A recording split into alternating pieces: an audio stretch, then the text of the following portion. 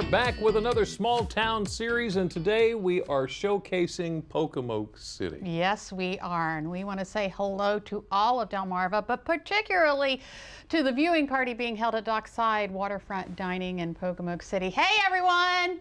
Yeah, I see you waving back. Yeah, we see you. Don't think we don't. We do. We see you. so glad you got together, and I think you're going to really enjoy. You know, one thing I love about doing these shows is learning so much about these towns that we have on Delmarva. Yeah, because there is so much history and mm -hmm. little things that you might never know if somebody didn't bring it up. Exactly. So let's get to it. Let's get to it. Let's begin by learning a little bit about the history of Pocomoke City. The earliest documentation of what is now Pocomoke City comes from the late 17th century when Colonel William Stevens, who was a staff officer to Lord Baltimore, established Stevens Ferry along the Pocomoke River. 1865. It was incorporated as Newtown, but was reincorporated as Pocomoke City in 1878. Now, not long after that, the railroad was built, connecting Wilmington, Delaware to Cape Charles, Virginia, across the Pocomoke River at Pocomoke City. and that's what helped aid the town's growth. Yeah, in 1921, the old Pocomoke River Bridge, or Market Street Bridge, was built. The 275-foot double-leaf bascule movable span was built to meet the need of increased highway travel on the Eastern Shore in the 1920s and 30s. Now, the bridge was renovated in 1989 after a 50-foot section of it collapsed into the river. In April of 1922, a fire destroyed much of the business district in Pocomoke City. The fire reportedly started in a stable early in the day and was fanned by high winds. The telephone exchange, post office, Worcester Democrat office, and two hotels were wiped out. Fortunately, the town was able to quickly rebuild. Now, the second half of the 20th century brought much economic growth to Pocomoke City. The poultry industry rose, NASA, the U.S. Navy, the Coast Guard all helped with continued growth by bringing jobs to the area. As a matter of fact, Pocomoke is home to a growing industrial park that plays host to defense contractors, aerospace engineering, as well as plastic fabrication. Yeah. Uh, now, the Pocomoke City Industrial Park is actually where the Great Pocomoke Fair takes place. That's something else I learned. Uh, dating back to 1901, it was originally held at the corner of 2nd and, and Broad Street in Pocomoke City. The fair celebrated the fruits of harvest, handiwork of farm wives, the farmers' blue ribbon quality livestock, and horse racing. In 1930, the fair became a victim to the Great Depression. It would eventually return some years later and continues today. It's held the first week of August and there's so much going on. If, if you've never been, you need to go. You need to go, absolutely need to go. There's another huge tradition in Pocomoke City, which was one of the first ones I learned many years ago. Mm -hmm. And that's the Christmas parade, yes. one of Delmarva's largest nighttime Christmas parades always held on the first Monday after Thanksgiving. More than 100 units from Maryland, Delaware, Virginia participating. It attracts thousands of spectators. This year will be the 48th year for the parade, and I will never forget the year that I was driving the float for the radio station and I locked the keys in the truck. Uh-oh. We didn't make the parade. You didn't make the parade. I know that one year, several years ago, there was actually a bet between the mayor of Pocomoke and the mayor of Baltimore about who could have the bigger parade. Pshaw. I don't remember who won, but so we'll claim it. We'll claim it, yeah.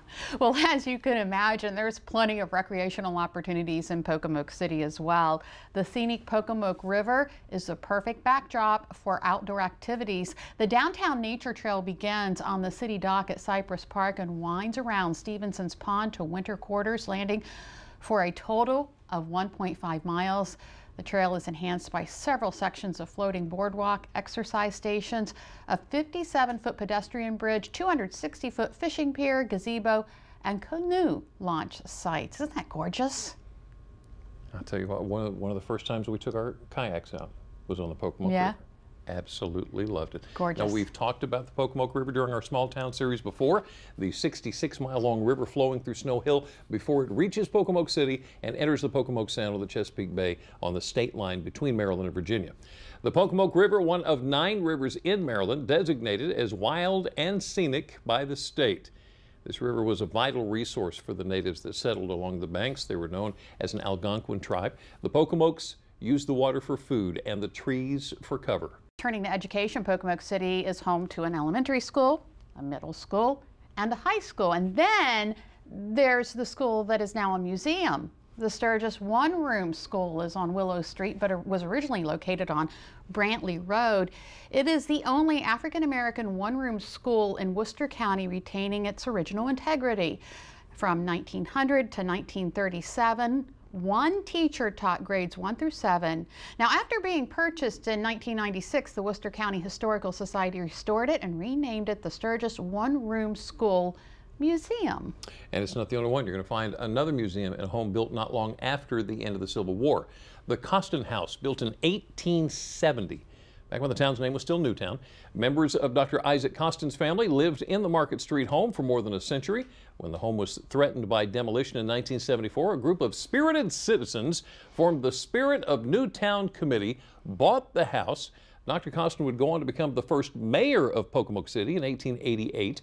The Costin House Museums, furnished with Victorian style furniture left behind by the Costin family. The grounds of the museum also include the Hall Walton Memorial Garden. And it's beautiful.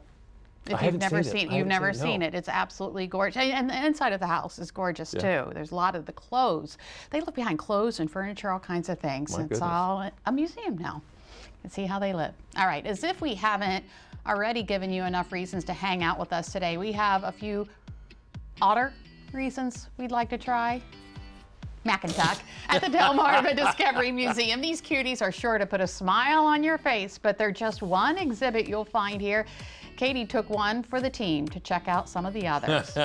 we are taking a look at Pocomoke's past with a visit to Marva Theater on Mar- uh, Market Street.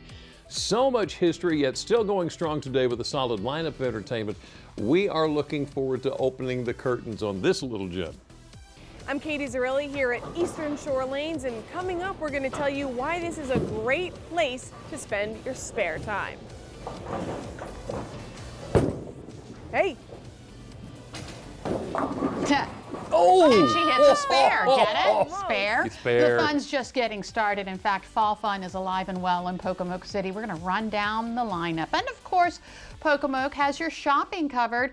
We'll stop by a place where you can find a little something for everyone with a heavy focus on fabulous flowers. And then Dockside has the deliciousness covered, affordable, family friendly, and fabulous. That's how you can describe this spot. Oh, and the view? Yeah, go ahead and plan for a stop here too. All I'm hearing is that Pocomoke City is popping. We're looking forward to this small town series adventure. Delmarva Life. Stay with us. The following segments in today's Delmarva Life Small Town series are brought to you by the City of Pocomoke, the Downtown Pocomoke Association, and Worcester County Tourism. Take a look at this stunning shot out of Pocomoke City. We often talk about the beauty of this incredible peninsula that we are so fortunate to call home. There is also so much to learn about this place, and wouldn't you know it, you can do so right in Pocomoke City. Yeah, at the Delmarva Discovery Museum. Now, the museum opened about 11 years ago and has continued to bring in new exhibits to both educate and excite its visitors. Delmarva Life's Katie Zarelli being one of them. And let's just say, after meeting real life otters and touching a snake, her life hasn't been the same. Mac and Tuck devouring their mid morning snack is enough to make even the busiest person stop and stare. This is just one of many exhibits to see and experience at the Delmarva Discovery Museum that's been open for 11 years. And they wanted something that would bring people to downtown Pocomoke, and I think that we hit it out of the park. Step inside and you've entered a world of learning, imagination, and discovery. Stacy Weisner is the museum's president and CEO. It's something I'm proud of. I want to finish my career here. Let's be honest, how could she not? She gets to spend every day with these two. Mac and Tuck are the stars here for sure. And they're only where the excitement begins. You won't miss the life size steamship, you'll see all kinds of native animals in the touch pool, and you'll live the wharf life with watermen. The exhibits here are hands on and fun. You can do everything from captaining a sailboat to hand tonging for oysters to crawling through a beaver lodge. You can even touch Piggy, an albino corn snake. Oh gosh. You gonna crawl up my arm? He's about seven years old. He'll live to about 15 in captivity normally. and he's super friendly. So uh, most people don't get to hold Piggy, but they can do the two finger touch. Stacy and Squad are constantly striving to make their existing exhibits better and add new ones that'll turn heads. We just shut up and listen. We listen to the kids. Um, some of our, our best ideas that we've gotten or we've asked children when they come in, what's the coolest place you've been to? Where is the neatest museum or discovery center you've ever been to? And we learn from those. From that shutting up and listening, they realize there's one question that those who stop in continue to ask. Most people, when they come in, they don't know what Delmarva means. So the very first thing we have to do is educate them what Delmarva means, where the peninsula is, where the waters are. Even those who do know what Delmarva means, those who have lived the Delmarva life through and through, can find something here that'll make their eyes light up and maybe teach them a thing or two about the place they call home. Here, they don't realize what's here. They think we're, you know, a small little museum, but we're 16,000 square feet. We're open, we're only closed four days a year. We're always open. We always have events here, um, and we're well worth the drive. It's also a museum that works with others in the community. So we partner with the Sturgis One Room Schoolhouse and the Costin House Museum. The goal is for you to end your visit at the Delmarva Discovery Museum feeling just a bit more joyful than when you first walked in, and for you to return with family and friends. But I want them to leave happy and pleasantly surprised. And I bet if you ask Mac and Tuck, they'd say they want that too. Right, guys? And Stacy says the museum also has a discovery lab that schools can bring students to for field trips. And I have to say, Jimmy, I, I got to hold little piggy, Yeah, the yeah, snake, yeah.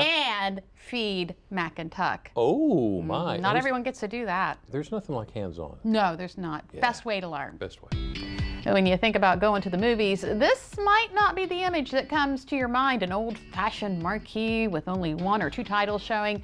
But that's the movie theater in Pocomoke City. Residents in and around the area know it, love it, and choose it to see the latest films. And get this, the Marva Theater is more than 90 years old. So, lights, camera, action. Here's Delmarva Life's Katie Zerli. Since the roaring 20s, the people of Pocomoke City have picked one place to view movies and shows. The Marva Theater Performing Arts Center has been a staple on Market Street for more than nine decades. And we celebrate that all the time, so we're very proud of that. We've been through a lot. Crystal Matthews has only been the theater's executive director for the last year, but she recounts the tale of its beginning like she was there. So 1927, um, we opened, and it was a silent theater, a vaudeville theater. Um, and then later on in the 60s, we added the, the screen and started to play uh, new movies. It was refurbished in 1996, a $10.2 million, 10 year long project, lengthy but necessary. You know, the, the fabric on the walls, the walls were chipping, um, things were just kind of falling apart. It was very much in disrepair, um, complete electrical. All the ceiling tiles were actually redone, and each one of those is refurbished and put back. So every little detail. Nowadays, it still takes you back in time while showing you something new. You get the history.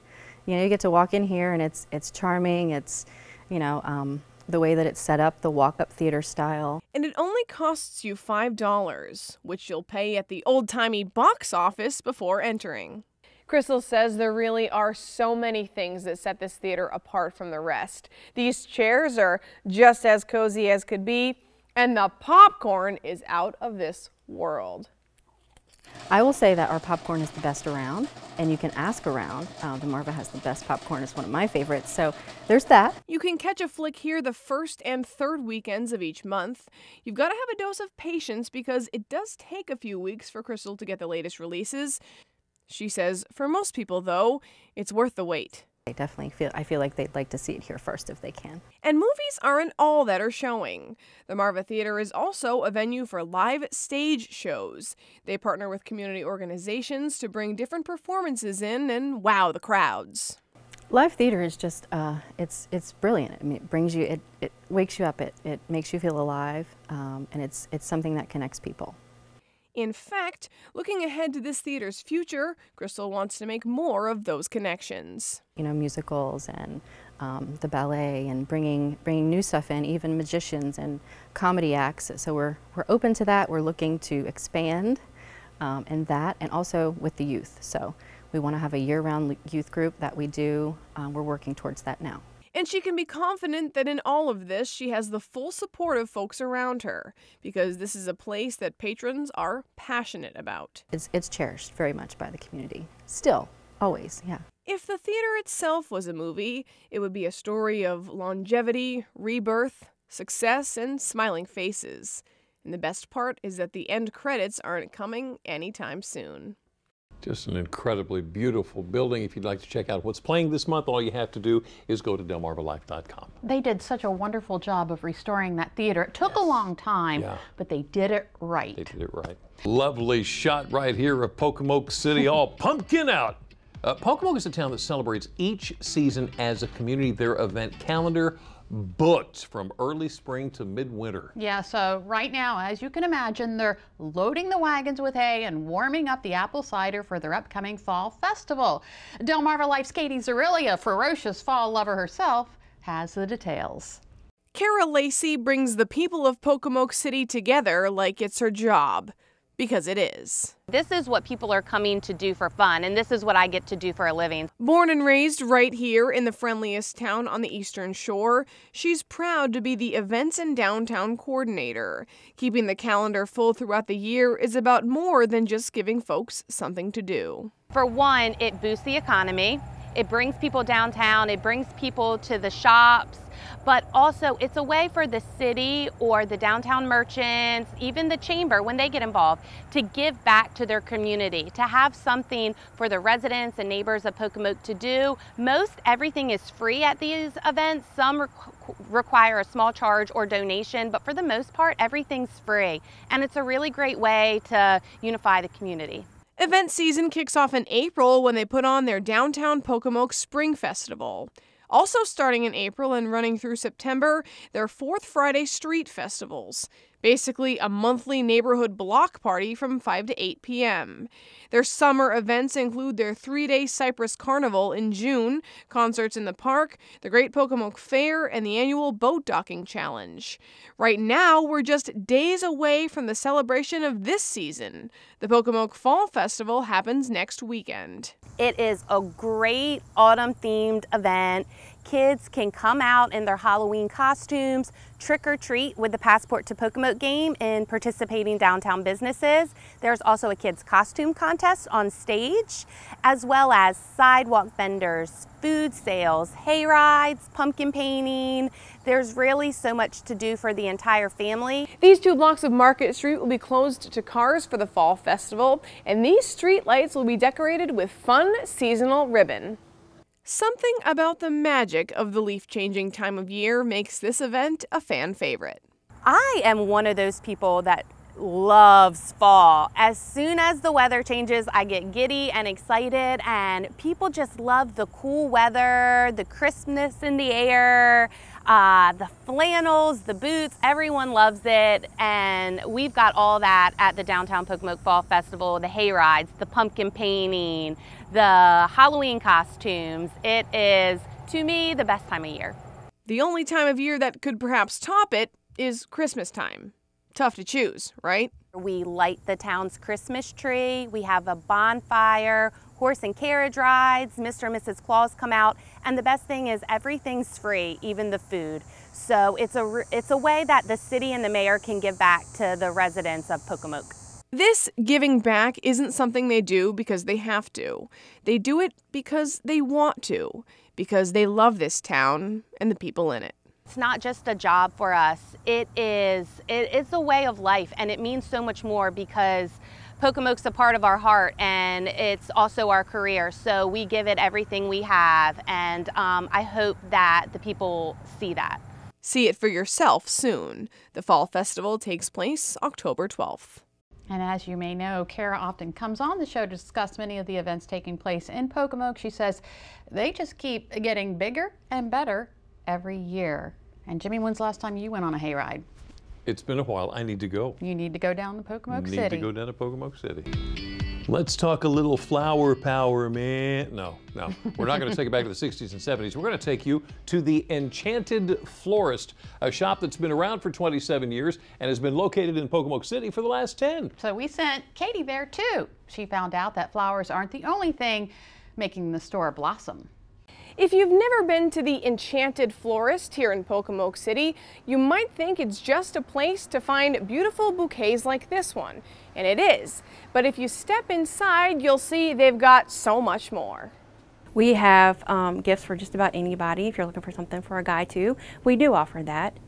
Um, we've got country decor and we've got everyday items, you know, if you're not into country. Uh, we just started carrying the Inis fragrance, which is actually from Ireland. It's a really cool scent, and our biggest addition right now is a Simply Southern. Um, all of our ladies are going crazy for that. And their Nora Fleming line has been a hit too. Jennifer Procaccio's business is 27 years old. It was first in Chincoteague, and then they moved here to Pocomoke 10 years ago. If you stop in to treat yourself and know exactly what you want, great. If you're like me and sometimes struggle to pick out the perfect gift for someone, also great. Jennifer is more than happy to help you out. It's something that, you know, makes you feel good because they're happy and you know that that gift they're giving is going to put a smile on somebody's face and we wrap everything up for you and put some pretty tissue paper in there so you don't have to go anywhere else you know you can just go straight to to your friend's home or you know whoever um, we also sell greeting cards too so that kind of helps now keep your jaw in place when we show you these flowers it's a challenge right they're stunning this is the only spot in Pocomoke to get fresh flowers, and these bouquets are put together with careful hands and artistic eyes. Creativity makes the best. You've got to have a spark. Um, you never want to make anything that's going to be dull. You want to shine bright. I wanted to know what Jennifer's flower of choice is. Turns out, though, that's the toughest question I could have asked. I love Gerber daisies and hydrangeas, roses, lilies, there's there's just so many to pick. It, it's hard. So many different options to express sentiments that are sometimes beyond words. It puts a smile on people's faces, um, especially you know for like a birthday or something. Um, and then of course we have funerals. Um, and so helping them get through a sad time, because um, believe it or not, it does put a, a little bit of sunshine in a really sad day. You can only imagine how crazy this place gets when Cupid comes to town but they're always up for a Valentine's Day challenge. It all happens and basically in one day, and we are crazy busy. It's great though, because each year we're pushing ourselves harder and harder. Um, but that's definitely a day full of some love. And when love really blooms and it's time for the I do's, Jennifer and gang play a part then too. They decorate about 40 weddings a year with their flowers. She works one on one with brides to make sure they get exactly what they've been dreaming of. The weddings are a lot of fun.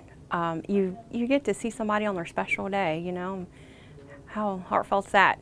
But special day or plain old regular day, there's always a reason to pop into the Enchanted Florist. You're going to love us, we're going to love you, and whenever you're looking for something, we have it. Where you'll find flowers, fun gifts, and most importantly, friends.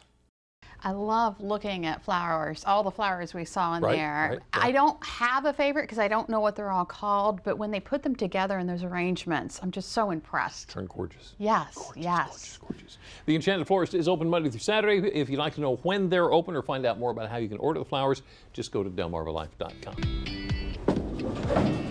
Yeah.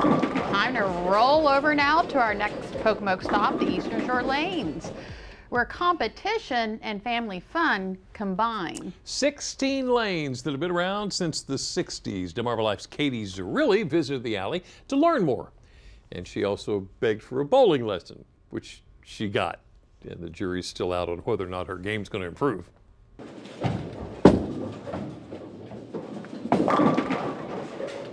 Since the early 60s, the people of Pocomoke City have frequented this bowling alley on Market Street for family fun.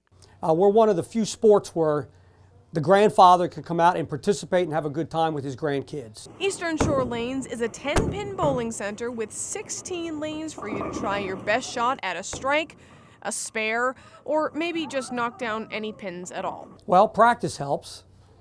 Uh, concentration's good. Take it from Tommy Fitzpatrick. He's been here for a good while. We've been here a long time. Uh, I started here in 1971 as a short order cook. I became the mechanic in 78 and I bought it in 1986. Since its inception, it's been a spot where folks can make the best of memories, whatever the occasion. Very famous for our church outings. We do fundraisers, special events, corporate outings, Christmas parties. Those serious about their skills have plenty of opportunities to get competitive. Monday night, Peterson Point League, which is our biggest night. We have a couples league on Tuesday night and mixed leagues on Thursday and Friday. And probably our crown jewel is our kids league that we have on Saturday morning. Over the summer, they also run a free kids bowling program, and this past summer, more than 2,500 kids signed up. Not bad for a town with 4,500 people in it. Whether it's the youngsters just starting out or those learning to bowl later in life, Tommy says watching their progression in knocking down those pins is powerful. I love seeing the new bowlers come in the enthusiasm when they do get the first strike, the first spare. And it's fun watching these bowlers mature and get better at the game. That's one of the things I really like. Now, I've never been one who's been known for my bowling skills, so I'm hoping, Tommy, you can tell me what I need to know to get better. Well, Katie, the first thing you've got to do is find a bowling ball that fits you properly. Uh-huh. You should always use your two middle fingers and your thumb should go all the way in. So let's take a look. All right, this And- is a nine. That's a nine pounder. It's a perfect fit for Perfect Katie. fit. Okay, here we and go. remember, you should always follow through towards your target. Follow through to the target. I'm nervous, Tommy.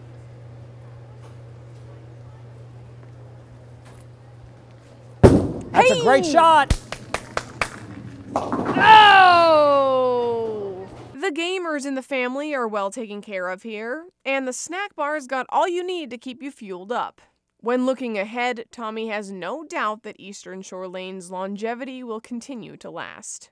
The future's bright. Um, I have a re- really, really great young staff. I have a, a new young manager that uh, Brandon Evans that's taken over for me in the future, and he's going to do a real good job leading us forward in the next, hopefully, in the next 30 years. Basically, I'll frame it like this. When in Pocomoke City, it's a business you've gotter visit. Oh my. And it should be no surprise that Tommy mentioned the foodies from Philly. He said he brought the cheesesteak to the alley, and it is a fan favorite. You gutter You gotta down try there it. Yeah. and try it out. Bless your heart. Oh my. You know, we have done a whole lot of exploring today. What say we finish off our Pocomoke City party with a good meal? Oh, well, sounds good, Jimmy. What are we having? Liking that idea? Mhm. Here's where we're going. Dockside Restaurant, which is just exactly what it sounds like a wonderful place to eat right on the river. Yeah, it's a spot you can be sure the whole family will find something delicious. Here's Delmarva Life's Katie Zarelli. Dockside Bar and Grill in Pocomoke City can be classified in many ways. It's the spot where you can sit and eat with a stunning view of the water. It's your saving grace when you need a night off cooking but still want to consume good food. It's the place you grab a drink with your buddies on game day. Whatever your pleasure, the restaurant's heart beats by one word family. Yeah, not a lot of Fun sleep. and crazy. Fun and crazy, yeah. It's uh, been an adventure, that's for sure. Husband and wife duo Jamie and Caitlin Evans run the restaurant. They've owned a coffee shop in town for a while now and decided this was the next step. They've been leasing the building from the city since spring and opened up in June. It's, of course, a big task, but one they're loving tackling together.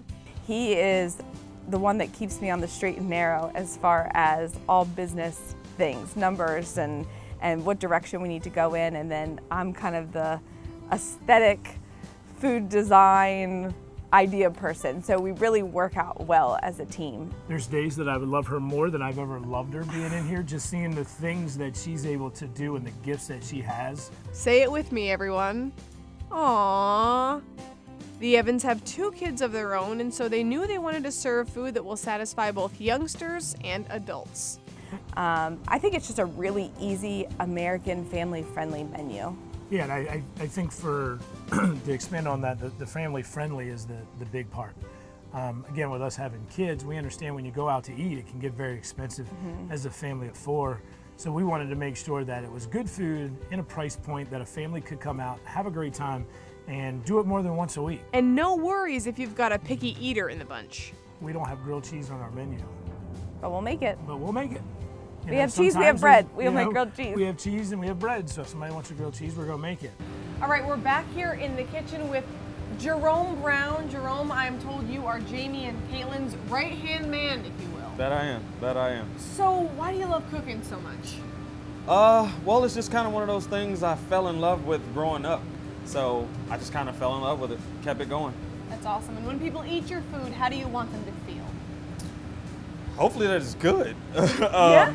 I mean, like, good criticism is, is always welcome. Um, we do understand that everyone is not going to like everything. Uh, but I'm hoping that for the majority of the people, they, they actually feel that my food is, is amazing. Cool.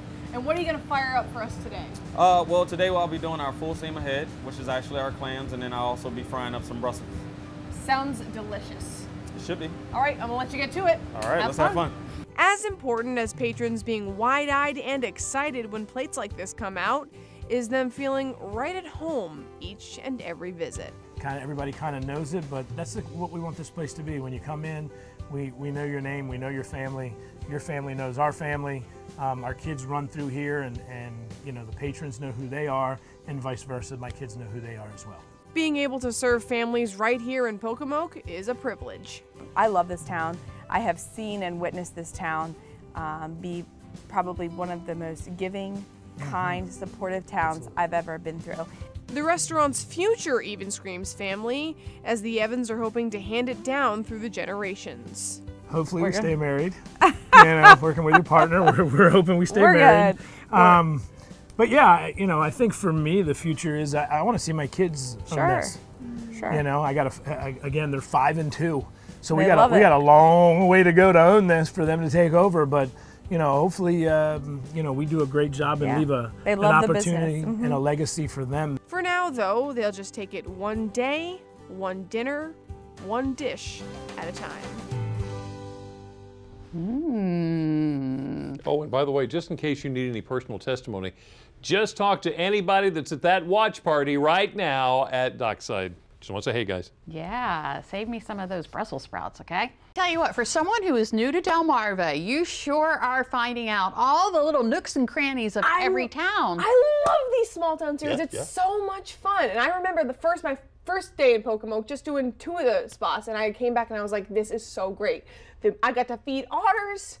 I got to go bowling. You held a snake? I held a snake. Held a snake. I was nervous about that at first. What? She's like, "Do you want to hold Piggy?" And I'm like, "Never held a snake." and then I became attached. You, you pet Piggy. yes, I did. I didn't want to let him go. Well, I hope you get to do a whole lot more. Me too. I'm fired up. Love them.